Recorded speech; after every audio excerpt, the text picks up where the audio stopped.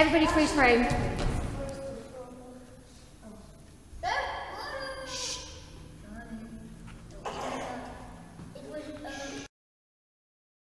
Right, so we're going to start off making our bodies all nice and loose, and we're going to go.